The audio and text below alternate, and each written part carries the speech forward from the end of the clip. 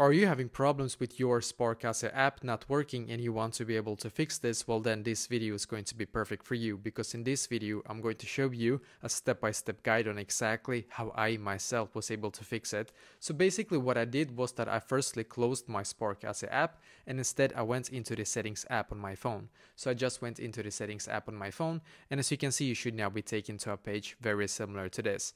Now on this page we're just going to scroll down until you can see where it says general so click on general and as you can see you should now be taken to a page very similar to this also. Scroll down here and click on storage.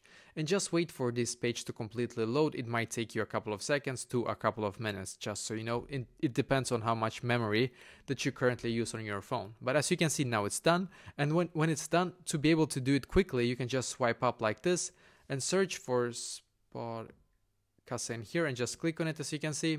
Then on this page is the most important now for this tutorial. You're going to firstly click on Offload app and once again click on Offload app.